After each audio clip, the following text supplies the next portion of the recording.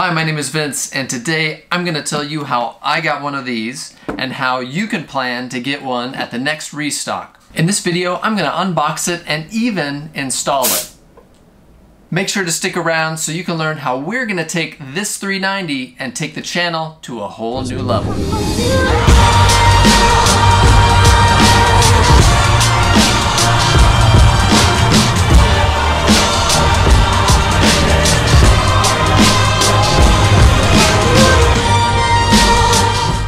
So I happened to catch on Wednesday, August 25th, that Best Buy was releasing a handful of uh, GPUs uh, in store only.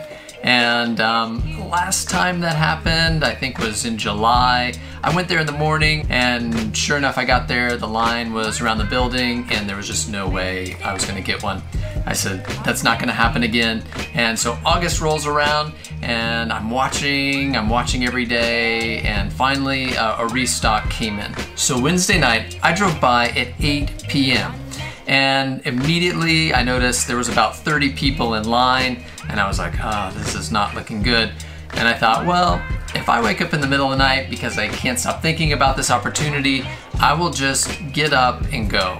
And so 3 a.m., got in my car, I went and I got in line. I was trying to count because the numbers said there was gonna be 112 in Wichita. And um, well, I was close. I knew I was somewhere right around 100 and um, that didn't really make me comfortable, but I thought, hey, I'm already here, I'm in line, let's just see what happens.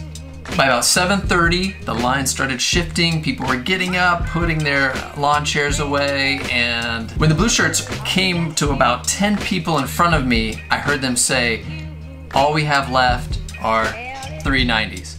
Now, this wasn't my original plan, but I just couldn't say no at this opportunity to get uh, a graphics card at MSRP uh, through Best Buy. It turns out the end of the line, the last slip handed out, was five people behind me.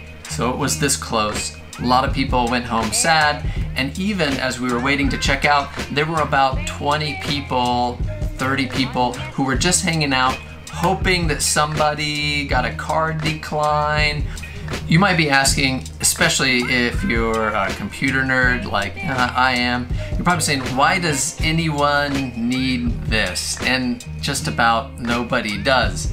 But it was the only one I could get, and so I had to go for it. So as many of you know, for the past month or so, I've been doing more live streaming, and I've really enjoyed it. I've enjoyed interacting with you and meeting so many of you across the globe. And I don't want that to stop. So here I am, I've got the card, and I'm gonna unbox it today and install it and tell you a little bit about um, uh, that process. I'm an artist and not exactly a computer tech, bear that in mind. What I did have to do was change the power supply. So I had a 600 watt this says on the back that it takes at least a 750. So that had to be installed and of course there's all sorts of routing cables and things like that that are, yeah, they're difficult to do and there's little parts and yada yada yada. The other thing I had to think about was the width of this thing, which is three slots wide. I might have to build some sort of support structure, maybe out of Legos or something. We'll, we'll see the Legos. All right, so here we go.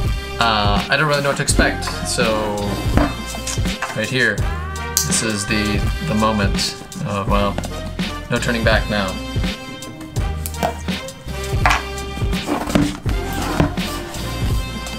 Open this way. Whoa. Wow. Look at this monster. Oh, it's so so heavy. Oh, holy cow. Look, I, I'm not the biggest person, but just look at the size of my hands compared to this. Uh, this is pretty wild. As you can see, three, three slots here, and um, I think it'll fit in here. I, I don't rightly know. But, uh, all right, that's fun. I'm gonna set that here for a minute. Let's see what else we got. Wow, that sounded metallic and heavy. Alright, got a quick start guide. some other, oh yes, the, the adapter. Um, so my understanding is uh, that uh, I just have to put my, my eight pins in here, two different eight pins, and then this is the 12 pin that goes directly into the uh, video card. All right, me holding this thing, I thought five pounds. It's probably a little bit of an exaggeration, but let's see, let's see. I can't tell. Yes. Four, oh, that was pretty close. All right. First things first, I'm gonna remove the power. And once that's done, uh, I'll, I just have one screw in it at the moment. Uh, I had to take a bunch of pieces apart in order to change uh, all the power cords out. So you can see kind of how much that drops. There'll be a little tab right here that you press down and that releases the card. All right, out with the old. Okay, here is uh, this uh, adapter. It goes to 12 pin here that goes directly into the card and uh, the eight pins, uh, the two, and I've got the two that I took uh, from the previous card. They just go in, at least I think so. So says uh, an artist. Um, oh, that one's good. Why? Why is an artist doing this? Okay. Uh, adapter in place. All right, it's time to uh, drop this in. I'm taking off the protective covering and um, here he goes. Uh, will it fit? Oh, look, oh, oh, oh, a little snug, little, little bit of, oh.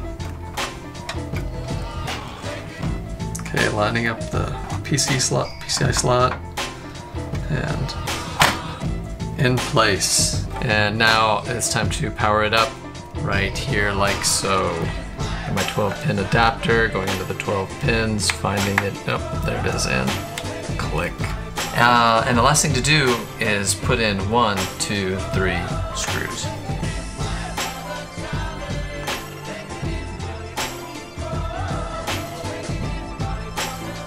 So, the 3090. A bit overkill for live streaming.